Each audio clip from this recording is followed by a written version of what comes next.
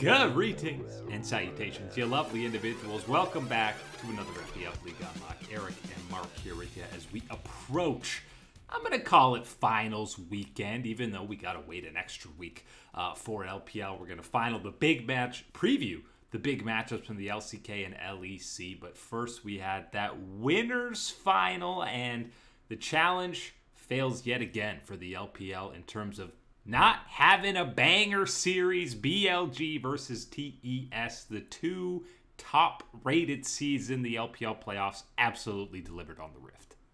They just can't help themselves, man. They just know that we want to get this Silver Scrapes five game bonanza out there from the LPL. And yes, winners bracket final, they absolutely delivered on that five game bonanza banger that you want to have. This one had it all. It had your bottom lane duos popping off all the way through. It's got a little bit of spice and some picks, and it absolutely has got some mind blowing plays that will have you jumping out of your seat. Anytime you're ending a series in a game five with the TF in your base back door in kind of a last second auto attack, yes, we're, we're going to give it a certified uh, banger status. And listen, this TP out of TES, it's got to be less than one second away from finishing before he finishes off that Nexus turn. Oh my god, it is so close to being that uh, appearance, and then just boom. Well, that, that Nexus is not going to be the one going down. If that finishes, TES, we're kind of in the driver's seat in terms of the fight around uh, the Dragon. So who knows how that game five plays out if that TP is one second away or one second closer to finishing. It's it's it's so close. This is normally one of those times where you talk about game fives where one team separates from the, the other in the series. They just have you know whatever it is. It's the draft, the focus, the the you know uh, energy to stay focused in throughout the series all the way through these five games. That wasn't the case in this series. It was both of them locked in in this game five, especially your boy Bin in the top side for BLG. We got to give him the shout out here because you know what? We're not really giving him a shout out in any of the other four games in this series because it was all about the game five performance from him on that Twisted Fate. That's where he really stepped up for the team. Yeah, he was finding picks all over the map with that TF ulti. Obviously, got just a absolutely disgusting individual matchup lead over 369's K'Sante, which more uh, more likely than not when you have that ranged matchup. But he really snowballed this one out of control. And of course, got to highlight Mr. MVP Knight on the Taliyah. Some of these flash shoves that we got to see, especially that one on JackeyLove around the mid lane. The confidence this dude plays with is unmatched. I've never seen a Taliyah played like that. The way that Knight was taking control of the champion, and taking control of this game and the destiny for BLG and making sure that they continue this path towards that LPL finals, that they're going to be that final boss that is waiting for whoever's going to make their way through the loser bracket. Those plays, that's the type of plays of putting your team on your back, making sure that you are the guy making that play in the clutch moment. That's exactly what that, you know, you're looking at that flash Taliyah shove right on to JackeyLove. That stuff, that is series winning MVP level stuff from Knight. Main other notes to take from this series is number one, of course, TES is right there with BLG at the top of the LPL table, and I'm honestly rooting for them against JDG because this would be such an exciting team to watch at MSI. Two incredibly polarizing Draven games out of JackeyLove, unable to do anything in that first game, and then gets like five kills early. This is pre-buff Draven for that MSI patch, so that JackeyLove on Draven alone is reason enough for me to want to see this team at MSI. The best Draven one trick we've had in the LPL, your boy JackeyLove getting a chance to play it. Yes, first time, didn't really get a chance to play it. We're not even going to include that one in this one because there was no opportunity. Look at that game one draft, and you tell me on the side of BLG which one of these champions just isn't designed for going 0 to 100 onto the ADC because all of them were designed for that, and every single one of them found that execution on executing the ADC in that first game. But that's next game that JackeyLove gets Draven. You do see that pop off. You see that skill, that type of threat. And I think really when you're talking about the Dravens and around the world, sure, there's a couple other guys that can pop up and teams that can implement it into them. Nobody takes it to the extremes and gets as much out of it the way that JackeyLove can. And we obviously all the praise and highlights uh, for Knight in Game Five in particular, but really the whole series. He was playing at a pretty high level, but doesn't mean we can't shout out the continued playoff growth and kind of arrival statement from Creme. He picked up MVP in that fourth game that got TES over the hump to force that game five. Going toe to toe with Knight, he held his own most of this series this was one of the most uh, major question marks heading into the year for top esports when you looked at it. Of course, a lot of people instantly you're getting the thumbs up for the 369 move. You might have had a little bit of questions whether Tian can still operate at this type of level, still perform for a team that is competing at the ultra end of the LPL. Had a little bit about the bot lane, and of course, Creme in the mid lane. If he was not going to rise up, if he was not going to continue to improve and go on the trajectory upwards of the LPL mid laners, this team wouldn't find a way to be one of the elite squads of the LPL.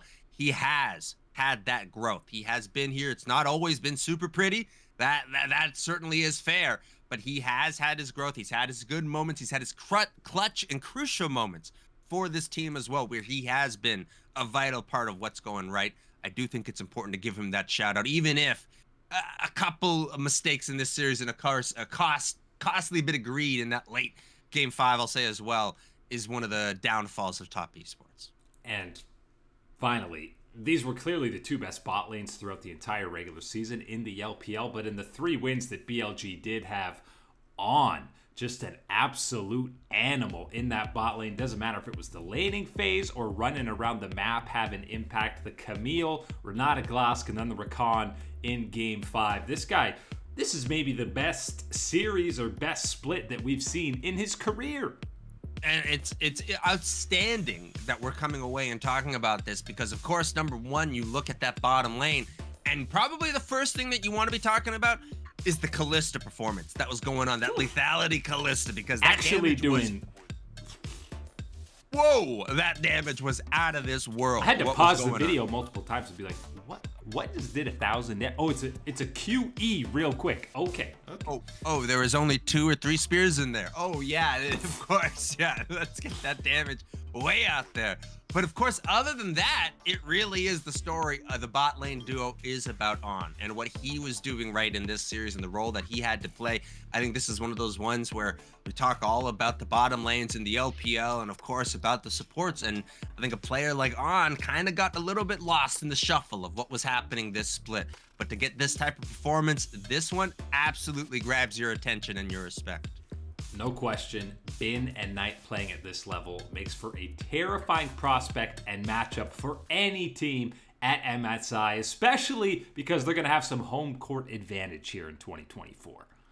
Yeah, you better believe that they're going to have that home court home court advantage. Everyone's going to be cheering for it. It's going to be a great event this MSI, and you better believe though that if depending on who it's going to be, any of these, you know, trio from the LPL still, uh, uh, you know, the other two who is going to join BLG for that MSI uh, event, you know that we're going to be sending some other squads, and we're going to have a chance to talk about them with the finals of the LCK and LEC coming up shortly.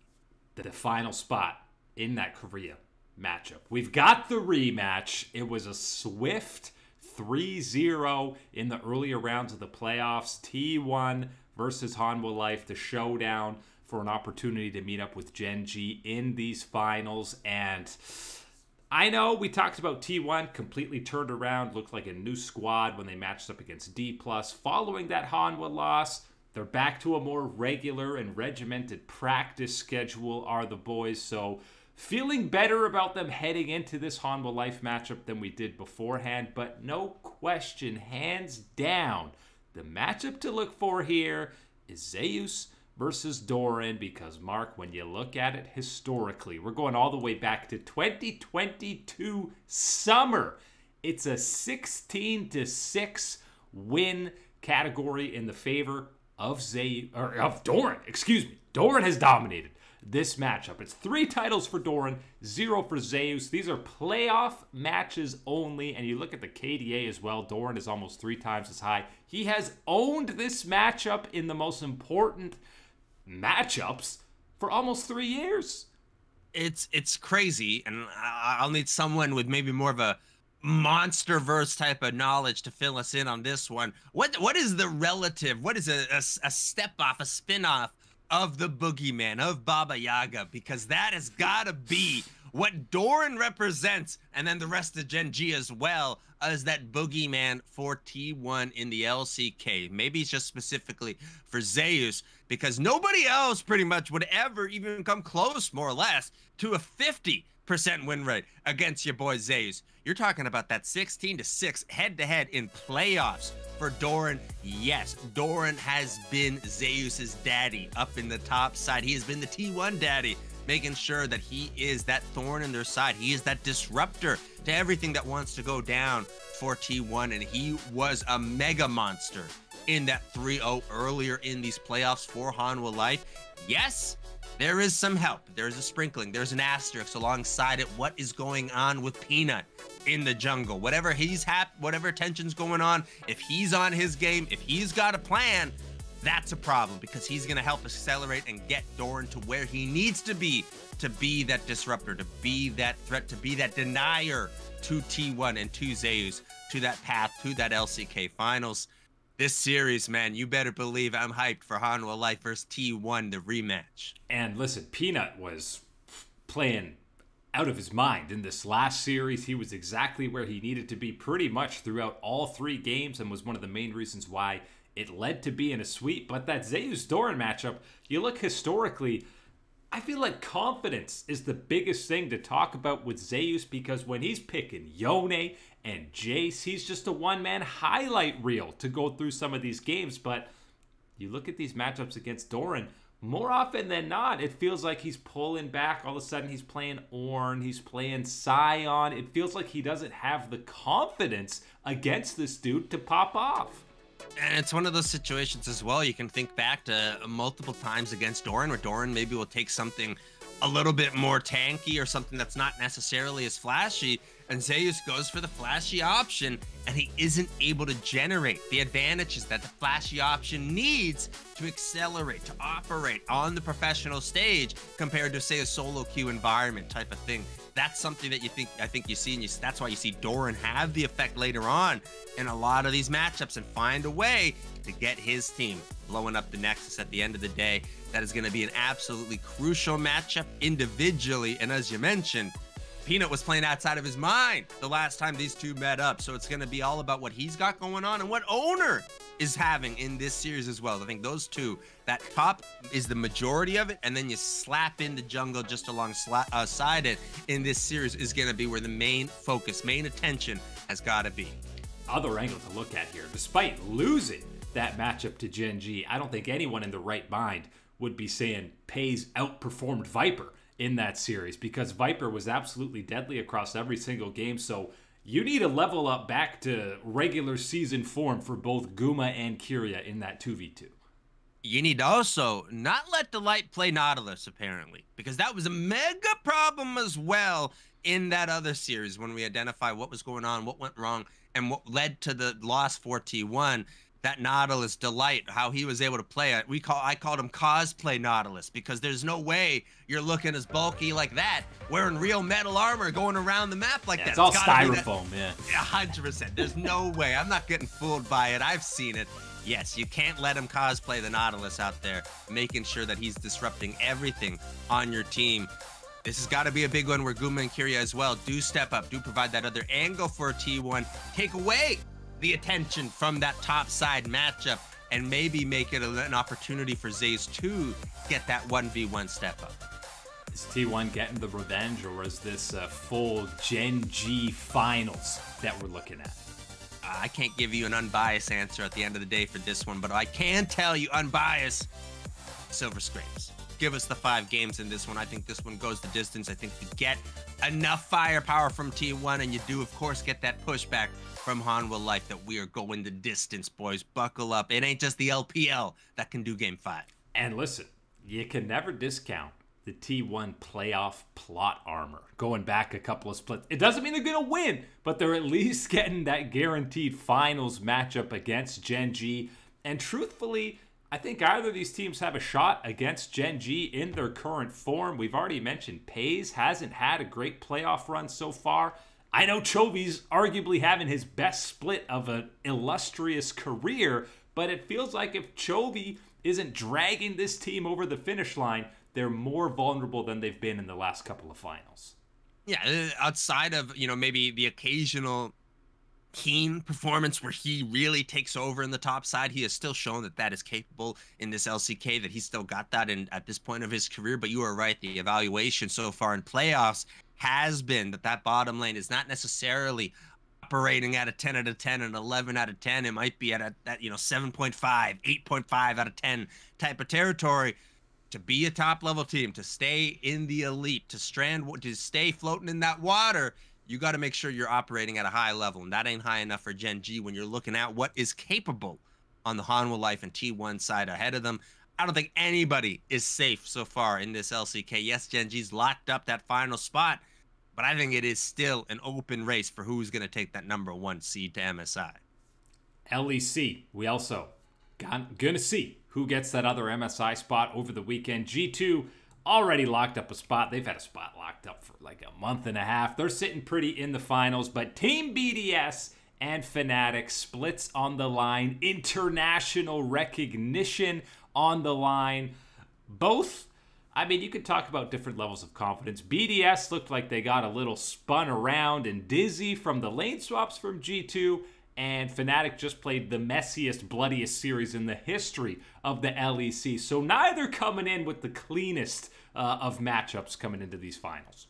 So, so uh, you can kind of take it a couple of ways. And mine for Fnatic, number one, is going to be that yes, you did have this incredibly messy series. There was a lot of positives in there a lot of negatives. So I think there's been a lot to review, and a lot of that review has also been, you know, kind of about that balance. It's been about taking this is good, this is right, you know, all these things, sure, and reinforcing that, and then going, this was bad, this was not right, these were not the right calls, this was not the right execution, all these type of things, and working on that heading into the preparation for this next week.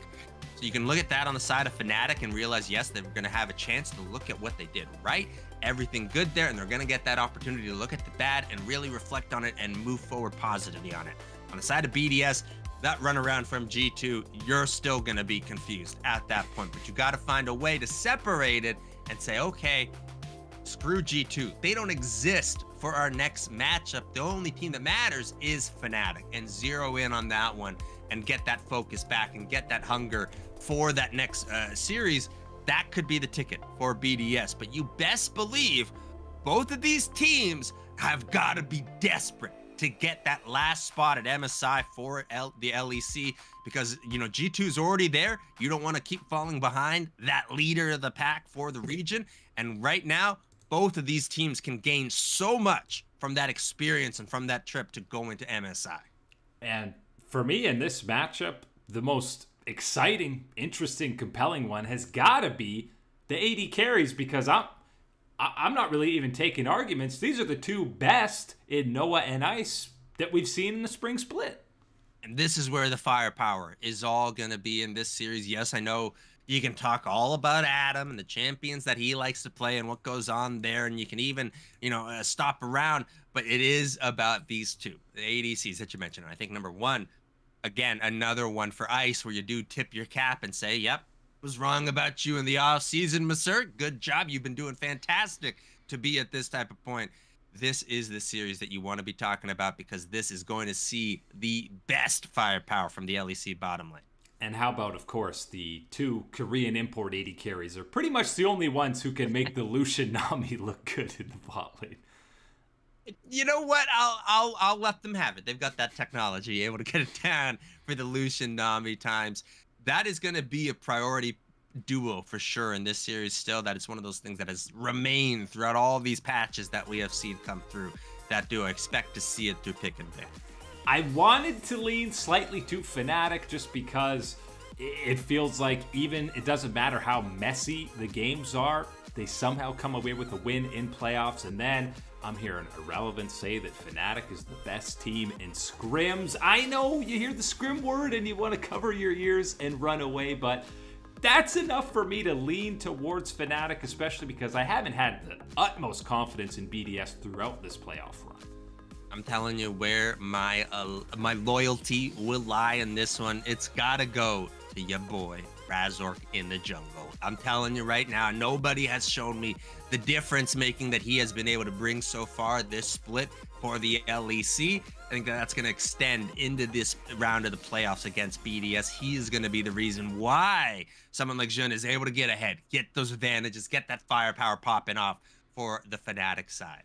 Now, it feels a bit like Groundhog Day because every time I feel like we're sitting here and I'm saying, okay, whoever wins, do they have a chance against G2? And then we sit here and say, no, probably not. And then G2's winning again. But do either of these squads have a better chance? I mean, I feel like the easy answer is Fnatic because they've taken games off of G2, even though they got smashed in their last playoff matchup. But we just saw BDS against G2 and they seemed to clear cut below. Yeah, and I think at some point, at the very least, you do give BDS some of the credit for the advantages. They were able to find a, a sprinkling of them in that series. Obviously, not able to really convert any of them against G2 is the counterpoint that comes across. And yes, Fnatic has been able to at least convert a couple of these times. They do get competitive, do get the advantages on G2 there just hasn't been too many of them is the other side of that coin when you flip it over and you realize what you're looking at and that is most likely again another one where we talk a little bit about these other squads and then end up yeah but uh, g2 is just uh, you cannot top g2 right now in the lec and what they offer. I think when you're talking about players like caps what the meta is uh, for the top lane as well and where you can experiment for someone like broken blade and growth that he has shown as an individual player the uh, that option just to me is leading straight down to another G2 championship. Especially when you're talking about Caps, maybe having the best one of the best splits of his career now that he's so deep into his career. This guy truly runs the EU region. But that is it today for League on Lock. Eric and Mark here with you. Beautiful people, thank you for hanging out with us as always. And you best believe we'll catch you on that flippity flip.